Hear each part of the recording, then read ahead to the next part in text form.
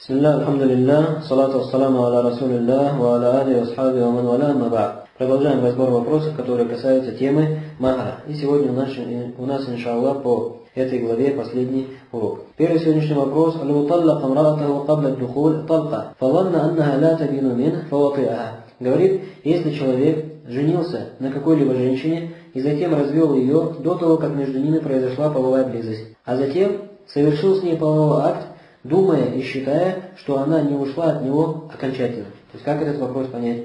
Известно, в шариате установлено то, что если человек развел свою жену до половой близости, то есть половой близости у них еще не было, то она становится ушедшей от него полностью сразу по факту этого одного развода. То есть она не обязана выжидать никакую идду, никакого срока ожидания, и он уже просто так вернуть ее не может кроме как если женится на ней заново новым актом бракосочетания. Так вот, некоторые из людей, и более того, многие из людей не знают этого постановления и думают, что если он развел свою жену до половой близости, то она ждет срок ожидания. Так же, как если бы он развел ее после половой близости. И думают, что раз она ждет срок ожидания, то есть она все еще является его женой, то он может совершать с ней половую близость, что является неправильным и неверным. То есть, если он ее развел до половой близости, то она уже ему не жена, считается ушедшей от него окончательно, и он, соответственно, не может совершать с ней полового акта, потому что это будет половой акт вне брака. Так вот, если человек этого не знал и все-таки половую близость с ней совершил после этого, то какой магар он должен ей заплатить? То есть здесь вопрос в чем возник?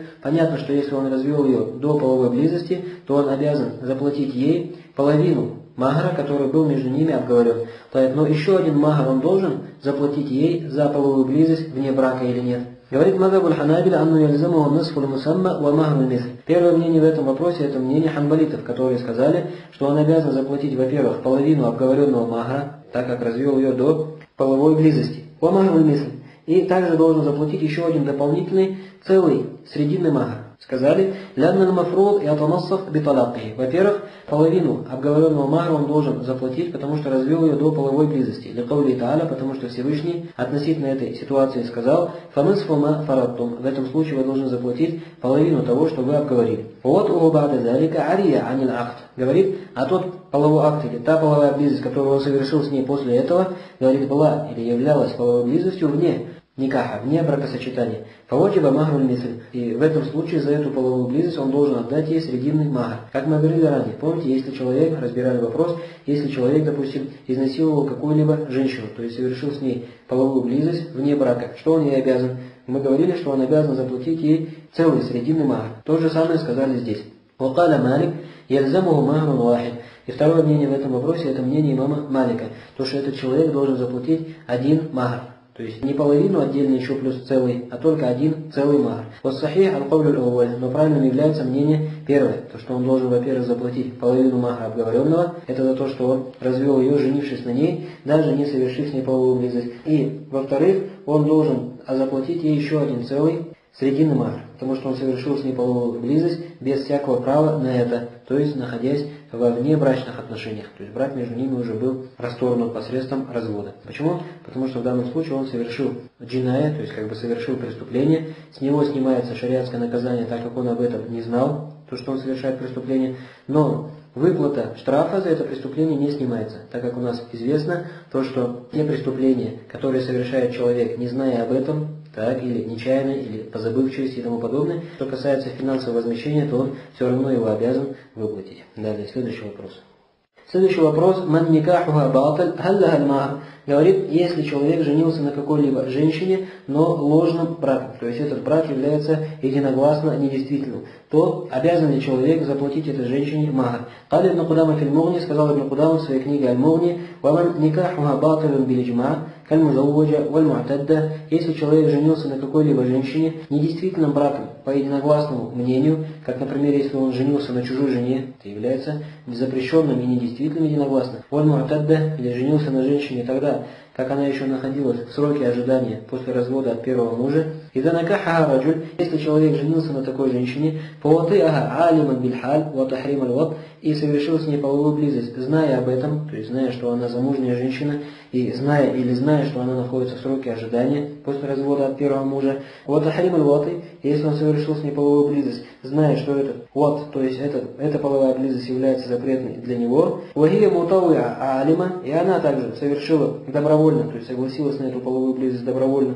зная о запрете этого, фала махрана, то она не имеет права ни на какой махр. Ля зина юджибуль хак, потому что это является ничем иным, как прелюбодеянием, за которым должно следовать шариатское наказание. Вахия мутауя алей, и она согласилась на эту половую близость добровольно, поэтому говорит, что никакого мага она не заслуживает. Ваинджахилят тахрима далика, если же она была в невежестве, то есть не знала, что половая близость такой ситуации с этим мужчиной ей запрещена, ау каунаха идда, или же она не знала, что она до сих пор находится в сроке ожидания, фальмахру то она имеет право на махр, лянну ват потому что это уже половая близость, относительно которого у них есть определенные сомнения. То есть есть у них некоторые факторы, которые заставляли их думать о том, что такая половая близость является узаконенной для них. Значит, что у нас получилось в этом вопросе?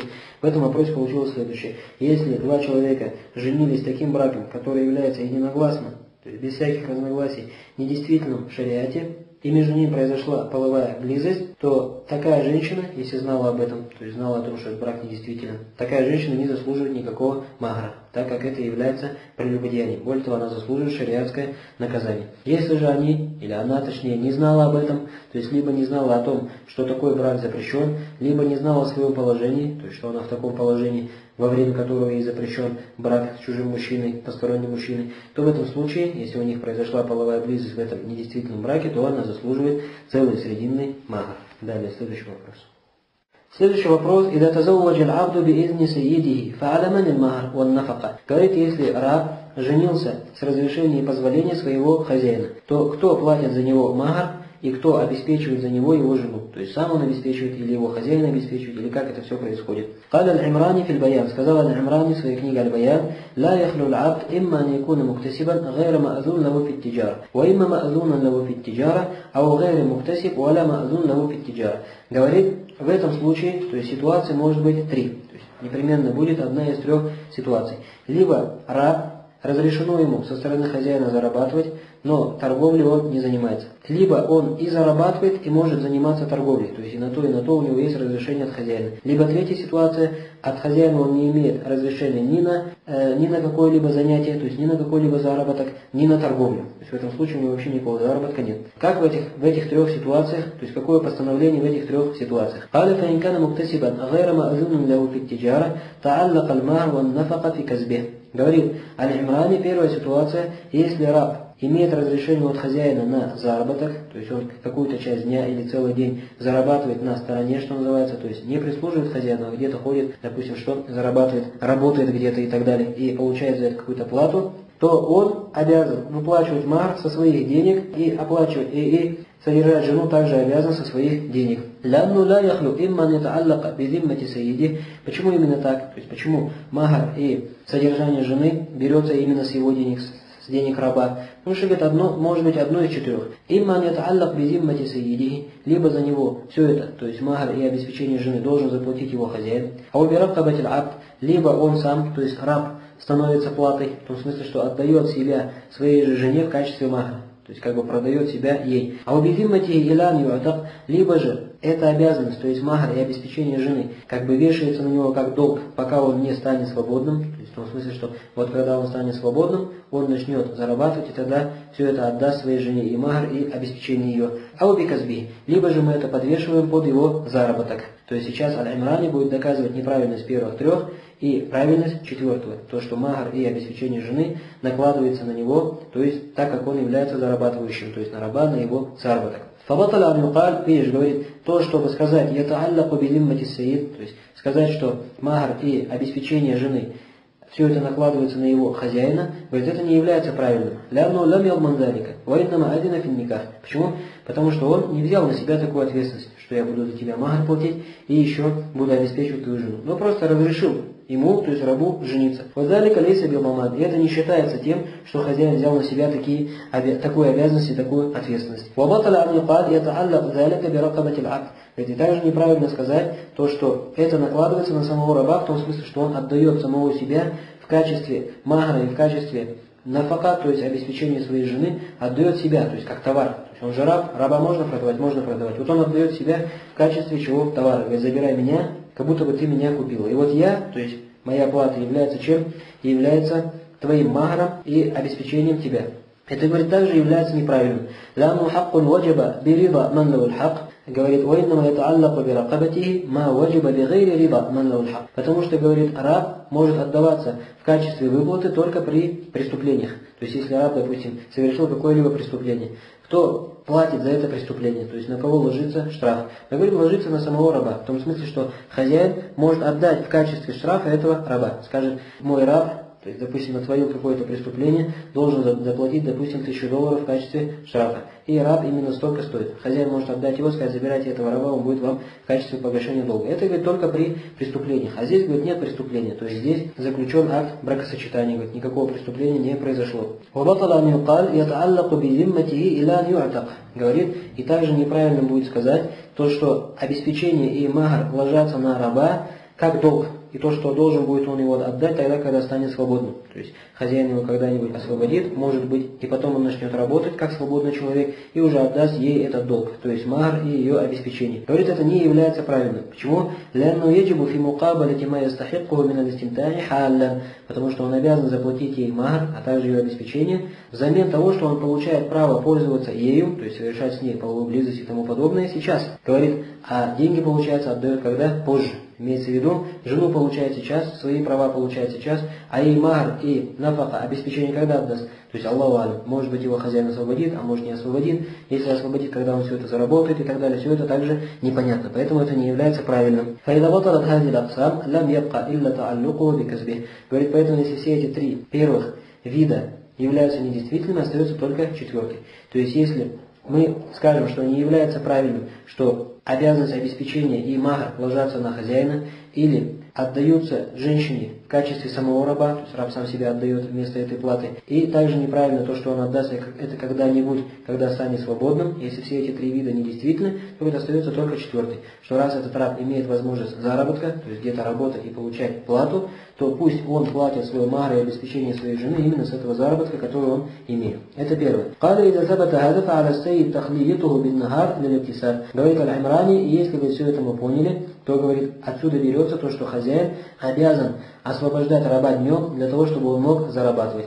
Вабиллейль листимта. А ночью он должен его освобождать для того, чтобы он мог проводить ночь со своей женой. Ляна изна бедняка якобам залик. Потому что если он разрешил своему рабу жениться, то это уже несет то, что он согласился на это. То есть, раз ты разрешил твоему рабу жениться, и этот раб является из тех, кто зарабатывает, то отсюда берется, что раз этот раб обязан отдать махар и обеспечить свою жену из своего же заработка, то хозяин автоматически получается, что он разрешает своему хозяину работать днем, чтобы он мог зарабатывать, и разрешает ему уходить к своей жене ночью, чтобы мог он э, ночевать у своей жены.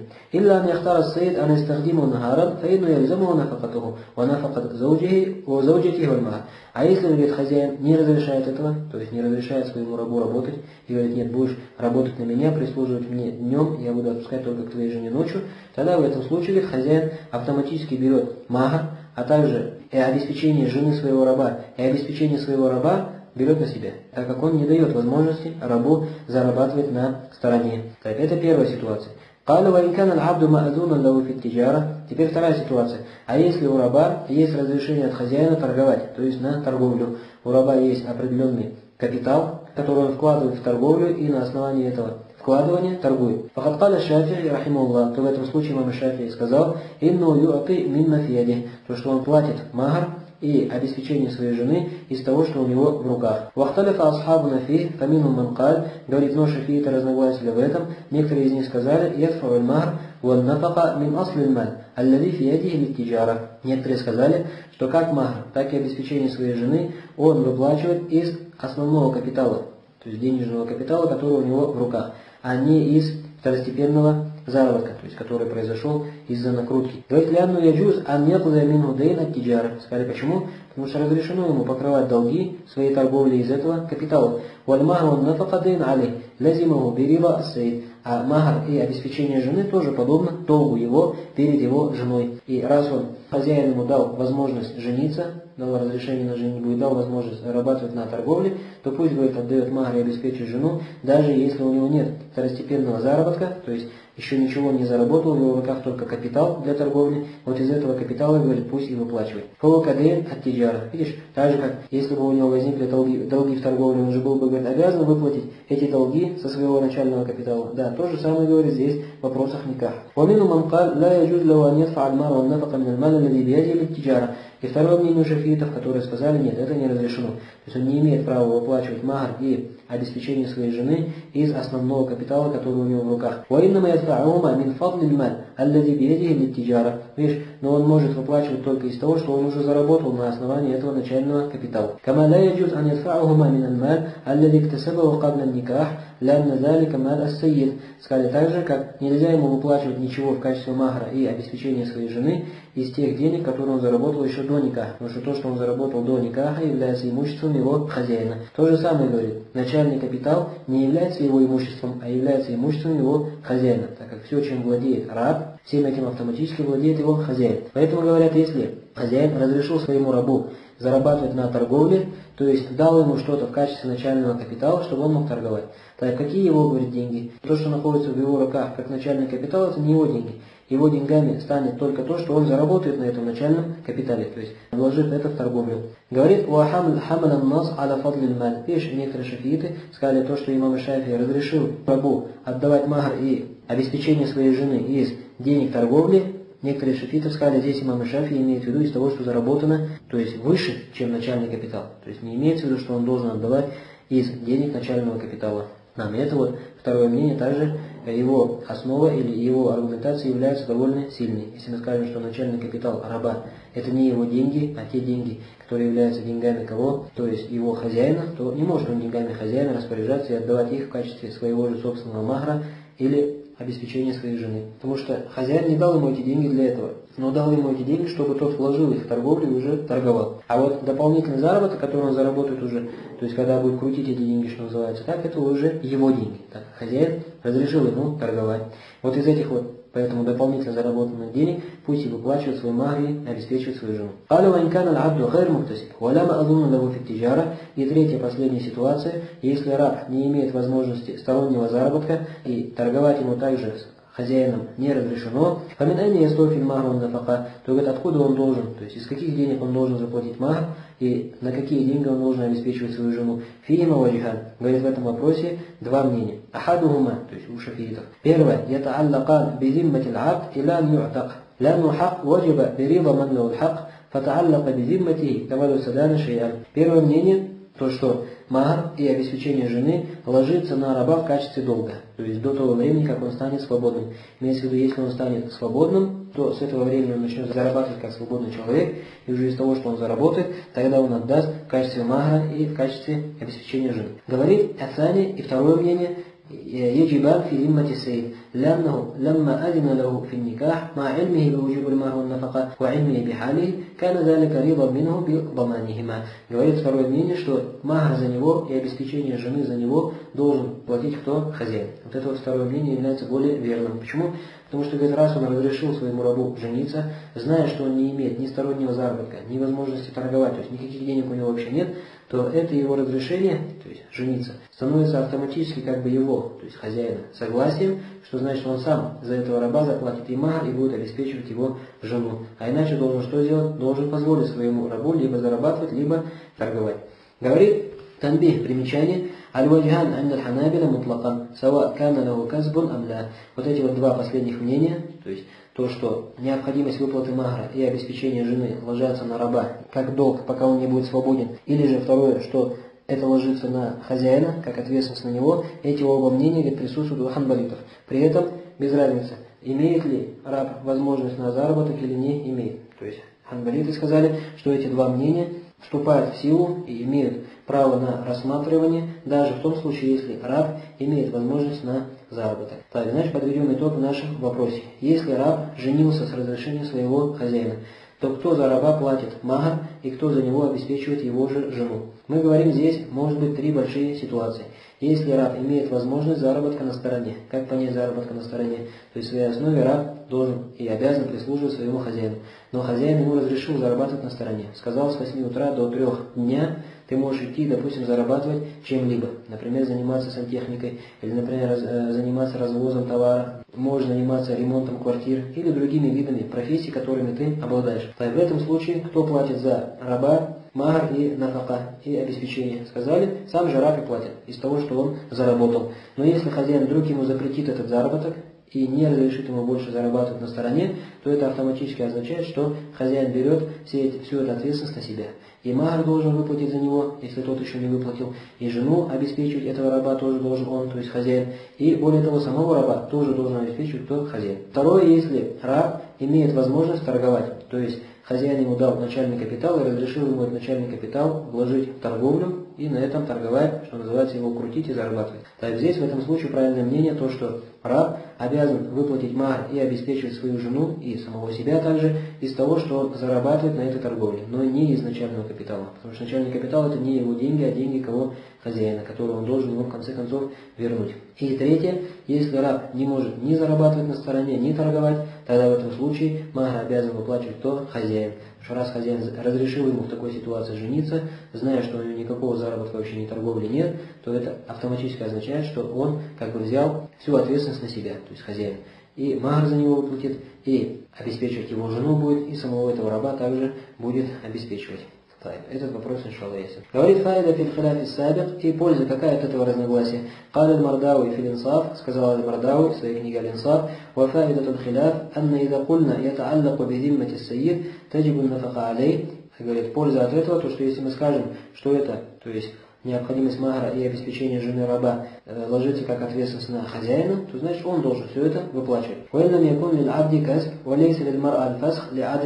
Видишь, и женщина при этом не имеет права на разрыв никаха с этим рабом. Почему? То есть не может сказать, раз он ничего не зарабатывает, не может торговать, то я требую разрыва нашего брака с ним. Почему не может?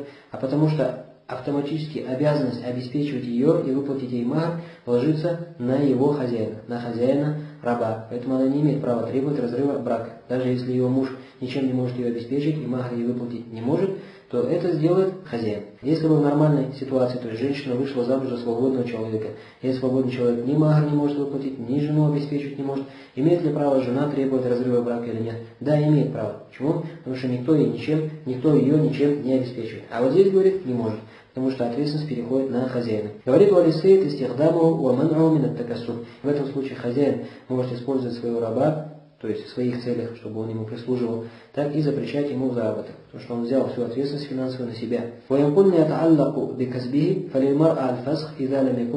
А если мы скажем, что обязанность махра и обеспечение жены ложатся на самого раба, то если раб не может обеспечить свою жену, то есть у него заработок недостаточный, то в этом случае жена имеет право на требование расторжения брака. Вот в этом, говорит, польза от этого разногласия. Видишь, разница есть, то есть на кого ложится обязанность, ответственность, на самого раба или на хозяина. Так, этот вопрос ясен. Далее. Следующий вопрос. «Ида завуджа сайиду абдаху аматаху фа'аля алейхи махар». Говорит, если человек женил своего же раба на своей же рабыне, является ли обязательным в этом случае выплатить махар? Почему? Смотри, мы говорим раб, имущество хозяина, рабыня также его имущество. Если мы говорим, раб платит магар своей же жене, так, которая является рабыней этого же самого хозяина, то получается, как бы деньги хозяина переходят к самому же хозяину. Правильно или нет? Потому что то, чем владеет раб, это фактически владение кого? Хозяина. И если он, то есть этот раб, передаст эти деньги, то есть своего же хозяина получается, своей же жене, которая является рабыней этого же самого хозяина, то получится деньги как бы от хозяина перешли к хозяину. То есть никакого смысла от этого не получается. Хаби ибн фильмовни говорит ибн Кудама в своей книге Аль-Мувни. «Ида заводжа сайиду абдаху аматаху факал аль-кады». Говорит, если человек женит своего же раба на своей же рабыне, то в этом случае у ученых произошло разногласие на два мнения. То есть почему здесь разногласие произошло? Кто-то может сказать, какой смысл? Если раб будет платить магар своей рабыне, все равно это деньги хозяина как бы перетекает, получается, к самому же хозяину. Но здесь произошел вопрос в чем? Что если человек никакой магар не заплатит, автоматически будет получаться, что магара никакого нет при этом акта бракосочетания, то получится, что как бы раб получил жену как подарок, то есть как гиба, что называется. А это было разрешено только пророку, саллаллаху алейhi То есть женщина могла выходить замуж за, только за пророка, саллаллаху алейhi даря себя, то есть обуславливая отсутствие махра. Говорит Факаль аль сказал Кады, то есть Кады Абу Я'ля, имеется в виду Кады какого? Ханбалийского мазхаба. Говорит, لا يجب مهر لأنه لو وجب لوجب لسيدها ولا يجب للسيد على عبده مال Видишь, первое мнение, это мнение Кады Абу Яля и также мнение Имама Шафии, как у нас придет далее, что раб не должен платить мар своей жене, которая является рабыней его же хозяина. Потому что говорит, получится, что деньги перетекают от самого хозяина к самому же хозяину. Вакада Абу Хаттаб, и сказал Абу Хаттаб, это один из других имамов также ханбалийского мазхаба, Ежибуль мусамма, ау махру мисл ин лам якун мусамма. Говорит Абу Хаттаб, нет, является обязательным, говорит, обговорить мар, и этот мар должен быть выплачен. Если же мар никакой, никакой не обговорен, то необходимо выплатить срединный махар. Кейла яхну никах ан махар. Видишь, чтобы не получилось, говорит, что получился никах без всякого махра, что является запретным. Сумма яскуту лета азур из А потом уже, то есть после того, как они обговорят, это говорит, что аннулируется. Потому что его невозможно выплатить. То есть хозяин не может заплатить деньги самому себе. Вакада Абу Абдилля, и сказал имам Ахмад. Абу Абдилля имеется в виду кто? В словах Ибн Кудама имеется в виду сам имам Ахмад. Говорит, «Ида завваджа абдаху мин амати, фаухибба ан якуна бимахрин ва шухуд». Говорит имам Ахмад, если человек женит своего же раба на своей же рабыне, то мне нравится, чтобы это было вместе с махром, то есть с выплатой махра было обговорено и со свидетелями. Тыля фаин тогда имам Ахмад задали вопрос, а если этот раб затем эту рабыню разведет, кали якуну садак алей и атика. В этом случае говорит, он обязан выплатить махр ей, то есть этой рабыне, тогда, когда он станет свободным. Когда освободится, вот этот вот обговоренный махр будет платить из своих денег. Тыля фаин заводжа амину бигири махр. Тогда имама Ахмада спросили, а если хозяин женит своего раба на своей же рабыне без всякого махра, тогда как поступать? То есть первое мнение, если мы скажем. Говорит, говорит, «Кадыхталюфу фи». Говорит, имам Ахмад в этом вопросе, говорит, сподвижники разногласили. «Фазахаба джабир и анну джаис». И Джабир ибн Абдулля считал, что это разрешено. Почему? Потому что получается бессмысленно. То есть получается перетекание денег от самого же хозяина к самому же хозяину. «Вабикаули лкады аля шафири». Говорит Шейх Мухаммад Хизам, на этом слова Ибн Худама завершились, говорит, слово «Кады Абу Я'ля» также принадлежит имаму Шафии. «Вабикауля бил Хаттаб» «Каля Абу Ханифа». А мнение Абу Хаттаба, Абу Хаттаба поддержал Абу Ханифа. «Варраджиху кауля Шафии ваман ма». В эти правильными являются мнения имама Шафии, а также тех, кто с ним. То есть Кады Абу Я'ля и других. И это со стороны разрешенности. То есть то, что в своей основе разрешено чтобы человек женил своего же раба на своей же рабыне без выплаты мага. Потому что в итоге получается, что хозяин передает свои же деньги самому же себе. Но на практике лучше поступить так, как сказали приверженцы второго мнения, то есть Абу Хаттаб и тех, кто с ним, то есть Абу Ханифа. То, что назначить какой-либо магар, а потом уже что аннулировать его, для того, чтобы не попасть под запрет. Но даже если так не будет, никакого махра не обозначит, то это все равно разрешено и никак действительно. Так говорит Шейх Мухаммад Хизам в этом вопросе. Танбих говорит примечание, «Ида тазавваджин абду бигайри изни саидихи, фатисахатихи хиляф, такаддама зикро». Мы, говорит, уже упоминали вопрос, если раб женился без разрешения своего хозяина, действительно его никак или нет. «Ва ида ватиаха, фаль махар ятааллак.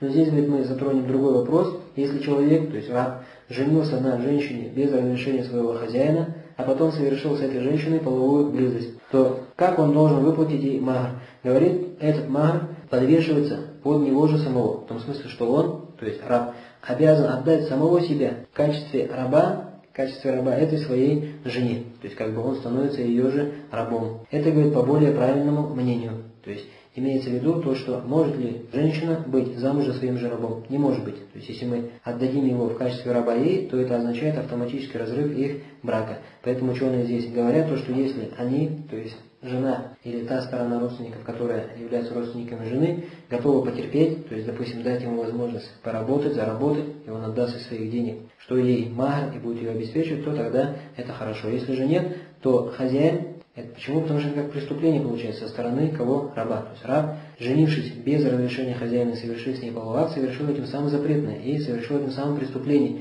и обязан выплатить ей срединный махр. То есть мы говорим, хозяин, в этом случае хозяин обязан что? Заплатить. То вот этот вот махр жене этого раба. И хозяин, если не хочет платить, может отдать его ей, то есть в качестве раба и все. А в этом случае мы скажем, если она переймет его как раба своего, тогда что их брак разрывается. Вакила ятааллаку фи зиммати. Так, а некоторые сказали, то, что он не отдается ей как раб, но на него этот долг подвешивается до тех пор, пока он не станет свободным. То есть, когда станет свободным, потом будет зарабатывать и отдаст. Вакил аль-ваджиб хумуса аль-махра. Есть также третье мнение, что он обязан заплатить две пятых махра. Вакил аль-мусамма. Некоторые сказали, должен заплатить и обговоренный махр. Вакил аль-митр. Некоторые сказали, должен заплатить и срединный махр и так далее. والمرجح عند الشافعي أنه يتعلق في ذمته وليس ذلك ببعيد فيما إذا علمت المرأة بحاله а правильное мнение у шафиитов считается то, что это, то есть выплата махра, из-за этого неузаконенного полового акта подвешивается на него, то есть на этого раба в качестве долга он будет отдавать его тогда, когда станет свободным. И это ведь мнение не является далеким, если мы скажем, что женщина знала об этом, то есть знала, что их половой акт является недействительным. Ляну юспиху хаккан ваджиба берилаха, Аллаху Потому что ведь это становится правом ее, на которое она согласилась со своего же удовольствия. То есть это уже не рассматривается как преступление, а рассматривается как то, что она согласилась, зная, зная о том, что ему придется платить махар, она на это согласилась. ауль аннау кальджиная. И первое мнение в этом вопросе, что все равно он платит в качестве преступления. То есть как будто бы он совершил преступление в любом случае. Знала она об этом или нет. Шейх Хамад говорит в этом случае более правильное мнение, потому что в любом случае мы рассматриваем это как преступление, потому что нет разницы, знала она конкретно или не знала об этом. Суть то, что произошло с самим рабом. А он совершил преступление, значит, должен выплатить ей магар, а магар он может выплатить только самим собой. То есть хозяин может отдать его ей в качестве раба. Далее, следующий вопрос. Говорит Хабиб ибн Хаджар, хадис под номером 1032. وعن جابر بن عبد الله رضي الله عنهما أن النبي صلى الله عليه وسلم قال Приходит от Джабира ибн Абдилля о том, что пророк, саллаллаху алейhi сказал, «Ман а'ата фи садак имраатин сауикан ау тамран факад истахалля». Если человек в качестве махра отдаст женщине что-либо из сауика, то есть продукты, продукт известный, или фиников, то считается, что он сделал разрешенным для себя ее. То есть это годится в качестве махра. Ахраджу Абу Дауд ва Ашара иля тарджихи вакти. Этот хадис приводит Абу Дауд и сам же указал на то, что более верно, что это не слова пророка, саллаллаху алейhi а слова Джабира ибн Абдилля. Говорит Шахмамад ибн Хизам, далее у нас придет, что эти слова, то есть то, что разрешено дать в качестве махра савык или финики, это касается только временного брака, который был разрешен ранее в исламе. Ранее в исламе а потом стал запретным. Говорит этот хадис слабый, приводит его Абу Дауд по дороге Муса ибн Муслима ибн Румана, от Абу Зубейра, от Джабира, от пророка, саллаллаху алейhi Говорит, когда фисунан Муса ибн Муслим. Так приходит в сунане Абу Дауда. Муса ибн Муслим. Вассалат Салих ибн Муслим. Но правильно является то, что этого передатчика зовут Салих ибн Муслим, как разъяснил это Хафиз ибн в своей книге «Ат-Тахдиб». Говорит Угу Зариф, и этот передатчик, то есть Салих ибн Муслим, является слабым. Вакаля Абу Дауд, Акиб аль-Хадис, и сам же Абу Дауд, то есть после того, как привел этот хадис, сказал, رواه عبد الرحمن بن مهدي عن صالح بن الرومان عن ابي الزبير عن جابر موقوفا. في رواية عبد الرحمن بن مهدي. Салиха ибн Румана, от Абу Зубейра, от Джабира, как его слова, а не слова пророка, саллаллаху алейhi вассаляма. Варава Абу Асим, и передает его Абу Асим от Салиха ибн Румана, от Абу Зубейра, от Джабира, а, и сказал, «Кунна аля ахди Расулиллахи, саллаллаху алейhi вассаляма, настамти'у бил кабва мин таам аля ма'на мут'a». Говорит, во времена посланника Аллаха, саллаллаху алейhi вассаляма, мы, заключая временный брак, платили в качестве магара кабва мин таам, то есть одну пригоршню продуктов. Значит, что касается этого хадиса, то это, во-первых, слова Джабира ибн Абдилля, а не пророка, саллаллаху алейhi И, во-вторых, это касается вопроса не нормального брака, а какого временного брака, который сейчас запрещен. Далее. حديث под номером 1033. وعن عبد الله بن عامر بن ربيع عن النبي صلى الله عليه وسلم عن نبيه رضي الله عنه أن النبي صلى الله عليه وسلم أجاز نكاح امرأة على نعلين. Говорит, приходит от Абдулла ибн Амир ибн Рабиа, от его отца, то есть от Амира ибн Рабиа, о том, что пророк, саллаллаху алейhi разрешил жениться женщине, разрешил жениться на женщине, заплатив ей в качестве магра на олень, то есть сандали, пару сандалий. Ахраджу от Тирмиди. Этот хадис приводит имам от Тирмиди и назвал его достоверным Вахулифа Физалика. Но относительно этого есть, говорит, разногласие, то есть ему в этом противоречие. Говорит Шахмамад ибн Хизам, Лаифун Мункар. Этот хадис является слабым, отвергаемым. Приводит его имам от-Тирмиди, также Ибн Маджи, а также имам Ахмад. По дороге Асима ибн Убайдилля от Абдулла ибн Амира, то есть ибн Рабиа, от его отца, от пророка, саллаллаху алейhi вассалям. Кали ибн Аби Хатим фил Иляль, сказал ибн Аби Хатим в своей книге Аль-Иляль, Саальту Аби, ан Асим ибн Убайдилля. Я спросил своего отца, то есть Абу Хатим Ар-Рази, об этом передатчике, Асим ибн Убайдилля. Факаля мункар хадис. Мой отец сказал, он является передатчиком, хадисы которого отвергаются. Юкар ибн алейса лава хадису ю'тамаду алей. Говорит мухаддисы говорят, то, что нет у него ни одного хадиса, на который можно было бы опираться. Культу анкару алей. Тогда, говорит, я своего отца спросил, а какой конкретно хадис в его сторону отвергали? Каля рава ан Абдилля ибн Амир ибн Рабиа, фазакар аль-хадис, ваху И затем имам Абу Хатим Ар-Рази прочитал ему вот этот вот хадис То есть пересказал ему этот хадис, указав на то, что он является отвергаемым. Знаешь, наш хадис нашей главы под номером 1033 является слабым, отвергаемым, недостоверным. Далее. Хадис под номером 1034. Он Саад ибн Саад, ради Аллаху анху, قال, приходит от Саада ибн Саада, о том, что он сказал, زوج النبي صلى الله عليه وسلم رجلا رجلا امرأة بخاتم من حديد. Пророк, саллаллаху алейhi вассаляма, женил одного из мужчин на одной из женщин, и в качестве махра этот мужчина заплатил или выплатил железное кольцо. أخرجه الحاكم говорит этот хадис передает Аль-Хаким هو طرف من الحديث الطويل المتقدم في أوائل النكاح и говорит на самом деле этот этот хадис, который у нас здесь приведен, является частью длинного хадиса, который мы приводили в начале книги Никаха. То есть помните этот хадис, когда пророк, саллаху алейhi женил одного человека, и в качестве махара они обозначили то, что он обучит ее чему-либо из Корана или чему-либо из Корана. И некоторые ученые сказали то, что здесь не имеется в виду обучение, а просто лишь тот факт, что он знает что-либо из Корана наизусть. А что касается вот этого, то, что пророк, саллаху алейhi женил его за железное кольцо, то это не является достоверным, то есть является чем ошибкой. Говорил Бахлифун Мункар, этот хадис является слабым, отвергаемым, приводит его Аль-Хаким по дороге Абдулла ибн Мусхаба Зубейри от Абу Хазима, от Сахля ибн Саада, от пророка, саллаху алейhi И говорит, Абдулла ибн Мусхаб является ضعيف слабым передатчиком, ضعفه ابن معين كما في الميزان. Его назвал слабым Яхья ибн Маин, как об этом приходит в книге Мизан аль-Атидаль. وما أضاع فيه فقد خالف الثقات الحفاظ. Говорит вместе с тем, что он является слабым, он говорит этим самым своим хадисом, противоречил крепким передатчикам хафизам. هم أكثر من عشرة, которых более десяти. رواه الحديث أنا بحازم باللفظ المتقدم في أوائل النكاح. Все они передают этот хадис от Абу Хазима с тем словом, которое мы приводили в начале книги Никаха. Вафи анну заводжу бимамаху на Коран. Там приходит то, что пророк, саллаллаху алейhi женил этого человека на этой женщине не за, золото, не за железное кольцо, а за то, что у него из выученного из Корана. Фадал хадис мункар. Что касается вот этого, то этот хадис является мункар, отвергаемым. Значит, что у нас произошло? Вот этот вот Абдулла ибн Мусхаб, слабый передатчик в этом иснаде, перепутал, то есть передал этот хадис неправильным образом.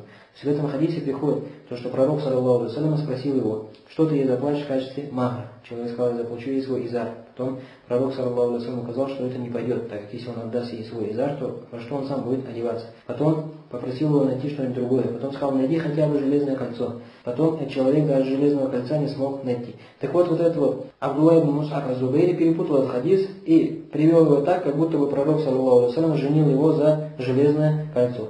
То, что в качестве махра было выплачено железное кольцо или обговорено железное кольцо. Но на самом деле пророк, саллаху алейhi женил этого человека на этой женщине за то, что было у этого человека из выученного из Корана наизусть. Знаешь, этот хадис также является слабым. Что у нас получилось?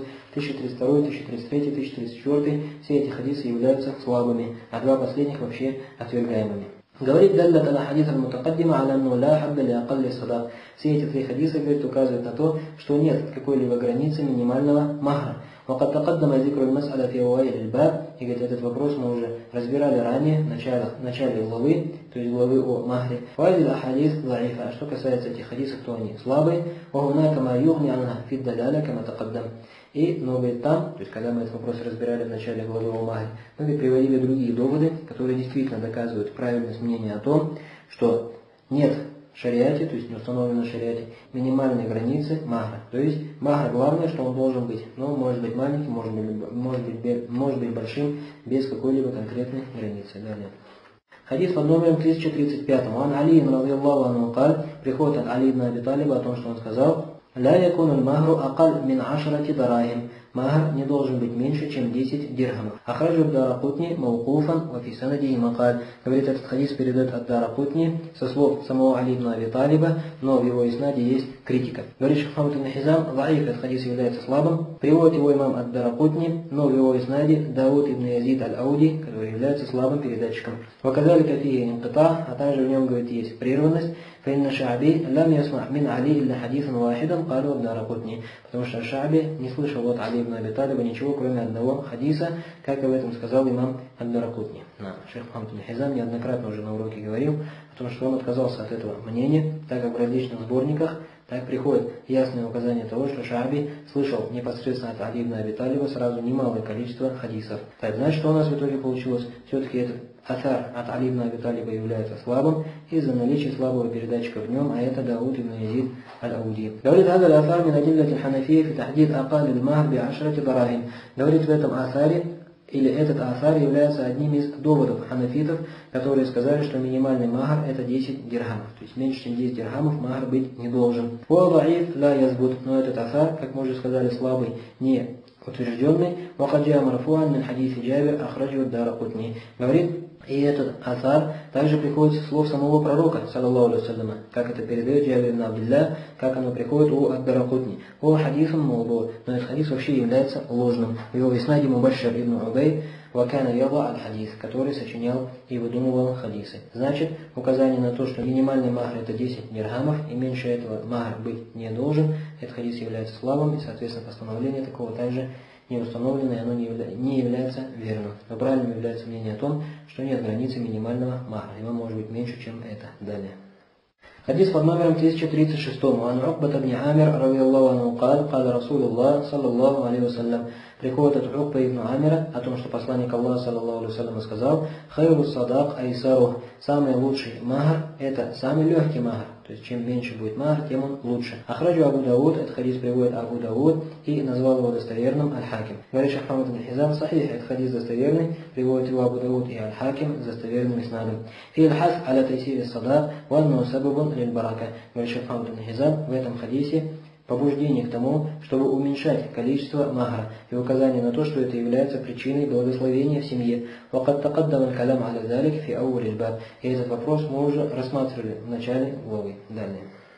Хадис под номером 1037. وعن عائشة رضي الله عنها приходит Аиша رضي الله عنها أن عمرة بنت الجود تعوضت من رسول الله صلى الله عليه وسلم حين أدخلت عليه تعني لما تزوجها. Говорит, приходит от Аиша, она о том, что она сказала, что одна из женщин, Амра бинт аль когда на ней женился посланник Аллаха, саллаллаху алейhi и вошел к ней, она попросила защиты от него у Всевышнего Аллаха, то есть сказала, «О, я прибегаю к защите Всевышнего Аллаха от тебя. Факаля лакад усти би Муаз. И тогда, тогда пророк, саллаху алейhi сказал, ты попросила защиту у того, кто ее предоставляет. Фаталлака и развел ее. Ва амара Усамата фаматтааха би саласати асваб. И отдал приказ Усаме ибн Зайду, чтобы он отдал ей в качестве мут'a, то есть в качестве дополнительного дара брачного, так, то есть это не махар, как мы говорили ранее, мут'a, то есть дополнительный подарок. Би саласати асваб, чтобы он ей дал качестве дополнительного дара три одежды. Ахраджу Ибн Маджи, этот хадис приводит Ибн Маджи, но в его иснаде оставленный передатчик. Говорит Шахмад Ибн Хизам, Даифан Джиддан, этот хадис является очень слабым. Приводит его Ибн Маджи, и вот этот вот оставленный передатчик, это Убейд Ибн, Ха, Ибн Касим. Вакад Кана Ядау хадис. И он не просто оставленный передатчик, а из тех, которые сочиняли и выдумывали хадисы. Далее.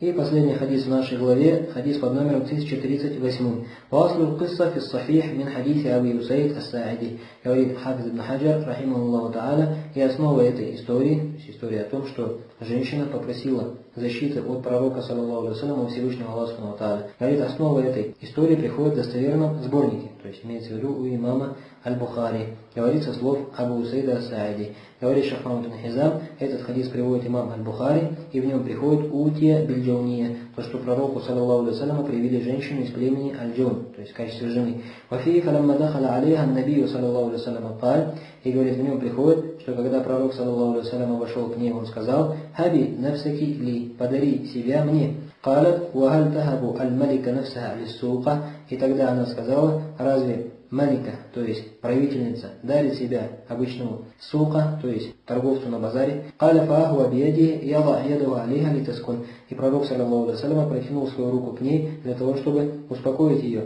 Факалят ауду билля. И тогда она сказала, я прошу защиту Аллаха от тебя. Факала кад ульти би. И тогда пророк, саллиллаху алейсалям, сказал, ты попросила защиту у того, кто действительно ее предоставляет. Сумма хараджа алейна факаль. И затем пророк, саллиллаху алейсалям, вышел к нам и сказал, я Аба Хусейд, ксуха разъяты разиqiyeni ва альхикха сказал, о Абу Усейд, одень ее в две одежды, то есть имеется в виду, дай в качестве дополнительного дара от меня две одежды, и альхикха и отправь ее к ее семье. И Ибн Хаджир, то есть переводя этот хадис, указывает на то, что кто-то из ее либо родственников, либо кто-то из ее знакомых сказал ей, то есть попроси защиту Аллаха от него, то есть от пророка, саллаллаху и ты станешь более, э, более дорогой в его глазах, то есть он как бы начнет тебя уважать. И затем эта женщина что, то есть после того, как все это закончилось таким образом, жалела относительно этого и порицала саму себя за это ее поведение. فيه أن المطلقة تمتع بثياب أو مال أو غيره بالمعروف. Говорит Шахман Хизам в этом или в этих хадисах, 1037-1038, указание на то, что если женщина оказалась разведенной, то мужчина, то есть который ее развел, должен дать ей дополнительный дар в качестве одежды или какого-то имущества или чего-то иного, что соответствует обычаям людей. وقد قدمنا الكلام على أحكام المتعة في هذا الباب فراجعها. И говорит, мы уже в этой главе подробно разбирали те постановления, которые касаются понятия мута, то есть вот этого дополнительного дара. То есть кроме махара, который человек обязан заплатить жене, если он ее разведет, он обязан также заплатить ей мута, то есть дополнительный дар в качестве одежды, говорили, или какого-то веса золота, или имущества, или какого-то домашнего атрибута, или что-либо подобное. Говорит, поэтому вернись к тем вопросам. А поэтому, говорит, вернись к тем вопросам. Так, на этом завершилась у нас глава о Махре, и со следующего урока Биизнилля приступим к следующей главе, Китабу Никах, которая называется Бабуль Валима, то есть глава о Валиме. Что такое валима и какое его постановление, нас сначала придут далее. Субхану Аллаху Ашхаду ан ла иляха илля анта, астагфируллаха ва атубу